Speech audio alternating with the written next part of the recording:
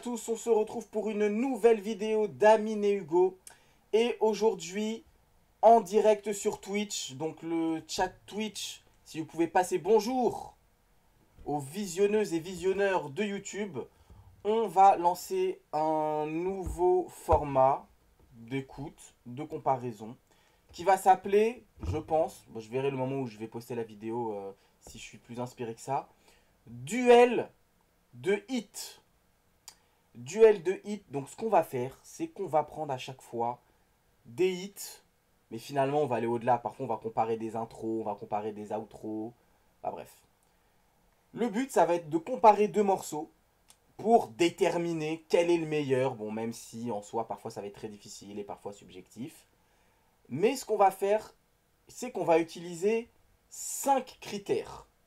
Donc à chaque fois, on va déterminer quel morceau est meilleur que l'autre selon cinq critères qui vont être. donc ça, il va falloir les respecter absolument. Et on votera à chaque fois, évidemment, sur Twitch. Et vous nous donnerez votre avis sur YouTube. Les critères sont instru, refrain, couplet, parole et clip. Donc instru, pas besoin d'expliquer. Refrain, bah, vu que ça va être des hits, pour la plupart, ça sera souvent quel est le refrain le plus entraînant, celui qui rentre le plus en tête.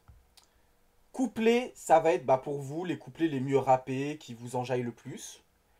Parole, en fait, c'est peut-être plus dans le sens punchline, phrase qui accroche, qui reste dans ta tête parce que bah, finalement c'est des hits, donc c'est un peu le but. Et le clip, bon bah c'est le clip que vous préférez des deux. Ce que je vais faire à chaque fois, c'est que je vais tenter bah, de faire euh, un euh, duel rap US, un duel rap français. Euh, pour l'instant, bah, ça sera sur Twitch. Mais bah, quand Hugo reviendra, bah, on fera ça aussi sous forme de vidéo euh, filmé en comme on a l'habitude de faire. Mais je me dis que peut-être que ces vidéos donc, seront filmées comme à notre habitude, mais qu'on continuera en même temps euh, à faire la diffusion sur Twitch.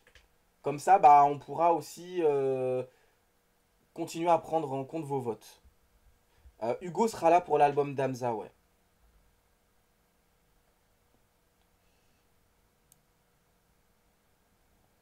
Voilà. Parce que je me disais peut-être continuer à lancer des directs pendant certaines écoutes, certains formats, ça peut être grave intéressant. Euh, parce que c'est grave cool de vous faire participer. C'est un peu de façon le but en plus de la chaîne à la base. Euh, le partage. Donc là, on va commencer par deux hits iconiques du rap US. Des raz-de-marée à leur sortie. Dans le club et comment on le fait. Inda Club, How We Do. En plus, Inda Club 50. How We Do, The Game featuring 50. Qui en plus a laissé comprendre que euh, bah, il lui avait donné finalement à The Game. Euh, donc deux artistes qui étaient bah, sous les mêmes labels, G-Unit, Aftermath, deux artistes qui ont collaboré, 50 qui a aidé The Game pour Documentary. Euh, The Game qui était le protagoniste d'une des G-Unit tapes. Euh, The Game qu'on retrouve dans le clip de Inda Club. Et puis euh, voilà, les, vous connaissez la suite. The Game rentre en bif avec 50. Puis chacun fait sa carrière de son côté. Ils ne collaboreront plus jamais. Ce qui est vraiment dommage. Euh, mais ce qu'on va faire d'abord, c'est qu'on va revenir un peu sur quelques éléments de chaque morceau. Donc on va commencer par écouter Inda Club et regarder le clip, puis How We Do. Donc Inda Club, ça sort le 7 janvier 2003 et ça avait été enregistré en 2002. Le morceau dure 3 minutes 13, ça sort sous Aftermath, Shady, Interscope, donc ça sort pas encore sous G-Unit, ok. Et c'est produit par Dr. Dre, le plus grand beatmaker de l'histoire du rap, Mike Elizondo, donc, euh, et Mike Elizondo, donc un, duo de producteurs incroyable. Donc c'est issu de Get Rich or, Die Trying, évidemment. Réussir ou mourir. Euh, les ingénieurs sont Chamonix Excel et Mauricio Veto Iragori qu'on retrouve sur énormément de projets The Aftermath Unit. Euh, aux percussions, on a quand même DJ Quick, un des plus gros beatmakers de l'histoire du rap US également. Mike Elizondo s'occupe des pianos, des guitares et euh, des basses et euh, le mix Dr. Dre, la production en général Dr. Dre. donc, le morceau, donc, il débute dans le Billboard donc le 11 janvier 2003 et il commence numéro 67 et quelques semaines plus tard, euh, il rentre dans le top 10 et puis deviendra euh, numéro 1 pendant 9 semaines consécutives. Et du coup, il a bloqué Ignition Remix pendant 5 semaines donc de R. Qui était un gros single en featuring avec Jay-Z. Et d'ailleurs, Jay-Z qui dira en interview que lorsque Inda Club sort, il dira à Memphis Bleak, à Benny Siegel et d'autres mecs de Rockefeller que vas-y, pour l'instant ne sortez rien, laissez passer la vague. Et d'ailleurs, il, les avait prévenus en amont en leur disant sortez le plus de choses possible parce qu'il y a 50 qui arrive. Et effectivement, quand 50 arrivera, on sera un raz-de-marée monumental. Euh, qu'est-ce qu'il y a à voir dessus? Bah, ça, j'étais pas au courant, mais le Two Life Crew euh, par le biais de, son manager, avait euh, du coup euh, traîné en justice 50 pour contrefaçon en juin 2006 pour le It's Your Birthday en, en disant qu'il avait plagié cela du deuxième morceau issu de Freak for Life. Ok. Mais du coup, le juge avait botté en touche en disant que euh, la phrase It's your birthday, c'est euh, une phrase et un élément du morceau qui est commun, pas original et qui du coup ne peut pas être protégé par des droits d'auteur. Donc, euh, il sera promis en Australie, au Canada, Croatie, Danemark, Allemagne, Nouvelle-Zélande, premier au UK hip-hop, premier au Billboard Hot 100, premier au Hot RB, Mainstream Top 40, Hot Rap Song, enfin bref, Radmaré classique. Euh, le clip, iconique également, on va se mater ça. Donc c'est parti pour l'écoute et le visionnage d'Inda Club 50 Let's fucking Go.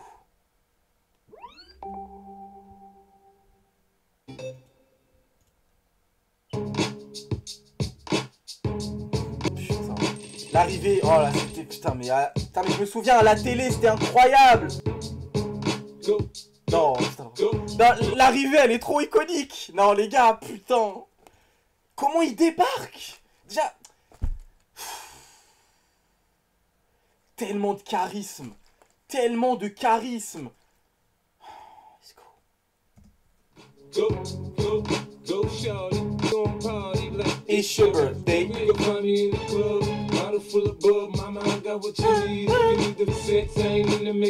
So come give me a hug.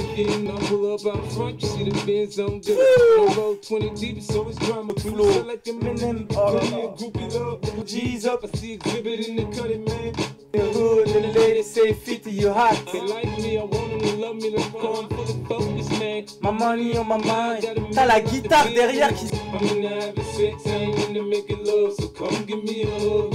My flow, my show brought me the dope. Le hook, putain, mais il maîtrise tout. Mais oh, il maîtrise tout. Il, il, ça kick. Il y a des ponts chantés. Le mec, c'est vraiment. C'est un putain d'androïde. Le mec, il a été créé avec ce qu'il y a de mieux dans le rap. Pour faire un hit, c'est incroyable comment il maîtrise. La maîtrise du tube, c'est incroyable. and I ain't changing. You should love it way more than you hate. Oh, money, homie, I ain't concerned. I'ma tell you what banks told me, cause go ahead, switch your style up. the money pile up. Or we can go upside the head with a bottle of bug. You in there getting rough. You can find me in the club, bottle full of bug. L'outro. Don't try to act like you don't know who we be, neither. Et Dr. Dre Eminem derrière qui vérifie que tout fonctionne. Putain, ceux qui n'ont pas connu cette époque, vraiment, je. Putain, mais je vous plains tellement. Ah, vraiment, je suis euh, tout émoustillé, hein, je tiens à vous le dire. euh. Putain, mais les gars. Ouais, 9 fois platine aujourd'hui. Ça va aller chercher le diamant. C'était incroyable, putain de merde. Il y a tout. Vraiment, il y a tout. Allez, on va passer à How We Do. The Game, sorti le 23 novembre 2004. Donc là, sous le label G-Unit Aftermath Interscope. On retrouve à la production, encore une fois, le duo Dr. Dre et Mike Elizondo, issu de Documentary. Là aussi, raz de à l'époque où ça sort. Euh, moi, je me souviens, j'étais totalement matrixé par le début du clip en plus.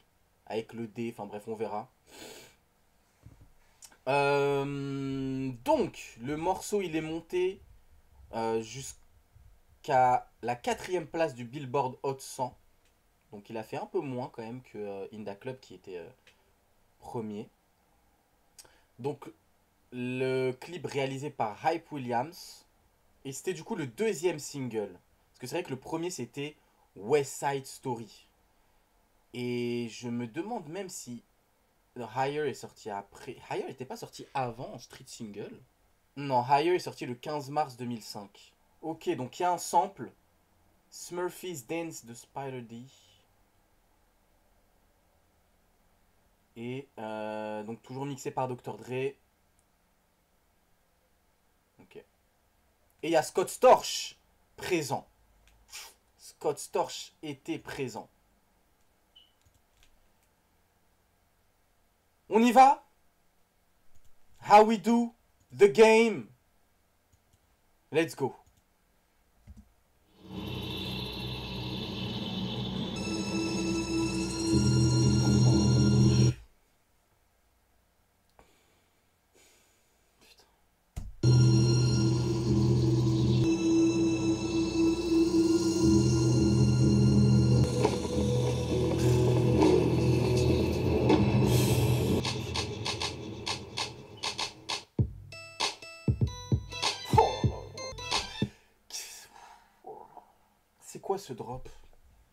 C'est quoi ce putain de drop?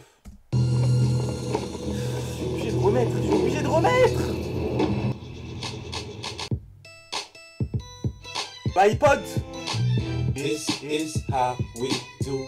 Nobody do it like we do it. Lac Uh, Impala uh, when beef is on, I pop that trunk. Ready, here come. Compton on saying, Oh The G-Unit girls just wanna have I put the bikini those and an Escalade Bro, so the Ça, ça, à l'époque, ça m'avait choqué.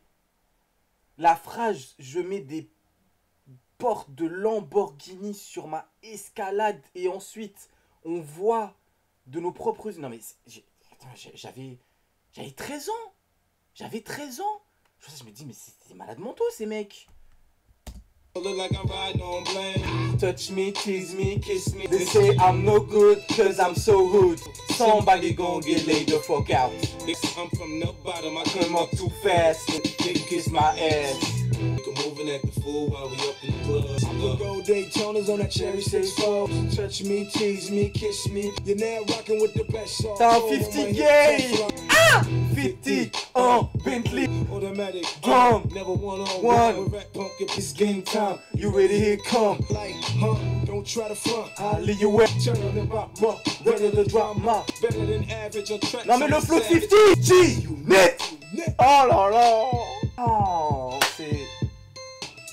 Les, les plans ils sont iconiques, non mais vas-y. Ouais, les clips étaient mieux travaillés parce que... Après je pense que c'est parce que bah maintenant euh, c'est moins un argument marketing qu'avant les clips. Tu vois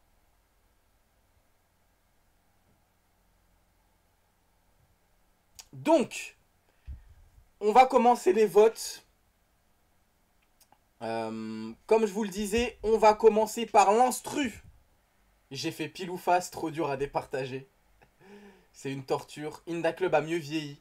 Inda Club, quand même, c'est trop, même si c'est deux classiques. Inda Club plus iconique. Là, pour l'instant, on vote pour les instrus uniquement, les gars. hein. Uniquement les instrus. Donc là, il y a quand même un, écart qui se creuse. On va pas se mentir.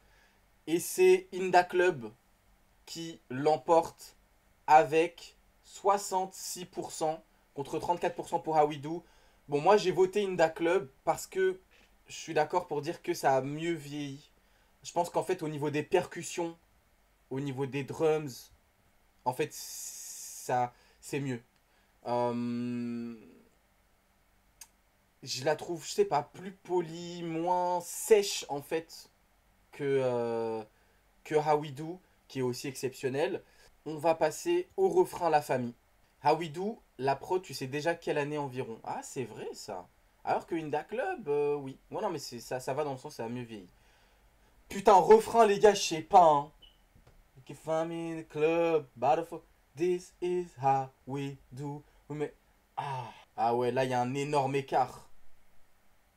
Il y a un énorme écart entre les deux.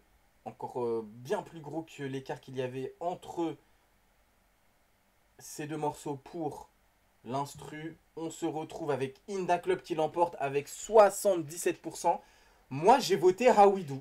Moi, j'ai voté Hawidou parce que, je sais pas, je le trouve aujourd'hui plus entraînant, plus facile à ressortir. Euh, et même quand ça passe euh, en soirée, en bar ou autre, je vois que les gens connaissent plus les paroles du refrain de Hawidou que Inda Club peut-être, tu vois. Les couplets maintenant. Les, les couplets, c'est très difficile. hein. Eh, je pense que eh, les couplets, c'est très très difficile. Parce que 50, ah, il lâche des couplets sur Hawidou. F- Non, ouf, oh là là là là là. Bon, je- je- Alors, Hugo avait voté Inda Club pour le refrain. 50 a les meilleurs couplets sur les deux morceaux. Moi j'ai voté du coup. Et là, bon, il y a. Ah oui. Ah ouais, là, on est, sur, sur- on est sur un écart de malade là. Le plus gros, gros écart pour l'instant parmi les critères.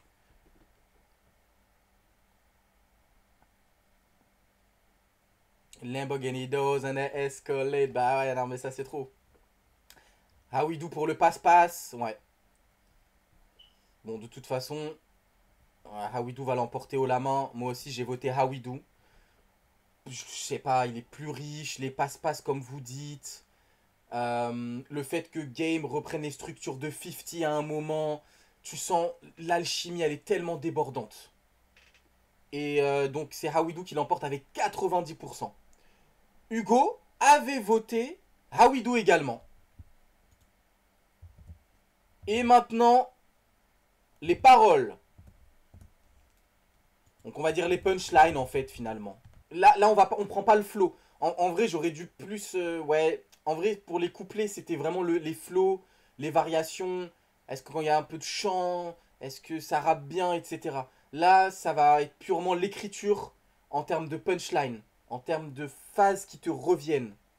Bon c'est Hawidou qui l'emporte. Moi j'ai voté Hawidou aussi. 72% et c'est vrai que je pense que bah déjà je le vois sur euh, quand on a réécouté les morceaux Euh, ah je crois qu'il y a plus de phases que j'ai plus rappé Hawidou que Inda Club je crois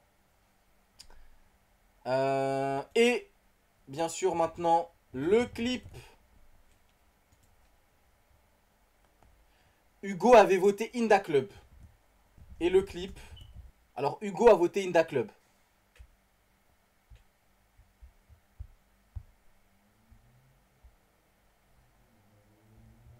Hawidou fait plus bas-fond que Inda Club sur le clip. Ouais, bon, Inda Club va l'emporter, hein, je pense. Il est déjà à 83%. Mais moi, j'ai voté Hawidou. Et je suis d'accord avec toi, Moha. Le côté gangster et le fait que ça soit tourné à LA, euh, tu sens que c'est encore, plus sombre. Même dans le club, il fait noir. Et puis l'introduction, bon, les deux intros sont légendaires, iconiques. Mais euh, l'introduction de Inda Club fait encore plus cinématographique. Le drapeau américain, les dés, toute la symbolique, le jeu, réussir, parier, Dr. Dre. Sur Inda Club, Dr. Dre, dans le clip de Inda Club, Dr. Dre, il, est un peu au même niveau qu'Eminem, tu vois, symboliquement. Sur How We Do, Dr. Dre, c'est vraiment le boss. Et puis de voir 50 et Game tous les deux. Non, non, c'est trop. Donc j'ai voté Inda Club. Euh, How We Do. Mais bon, les gens ont voté Inda Club. Euh, donc, je ne me souviens plus de tous les votes. L'instru, c'est Inda Club qui a gagné. Du coup, il y a 3-2 pour Inda Club. 3-2 pour Inda Club. Dans ce duel de hits. 50 en solo l'emporte. De toute façon, il aurait gagné quoi qu'il quoi qu'il arrive. Mais voilà, les GOAT en ont décidé ainsi. Inda Club est le meilleur hit entre lui et Howie Do. Après, ça, ça reste serré quand même. Hein. C'est bon, serré sur le score, mais c'était pas serré à, quand tu vas dans, la précision. Sur YouTube, bah, dites-nous pour chaque critère quel morceau vous préférez. On se retrouve pour une prochaine vidéo. D'ici là, prenez soin de vous. Peace.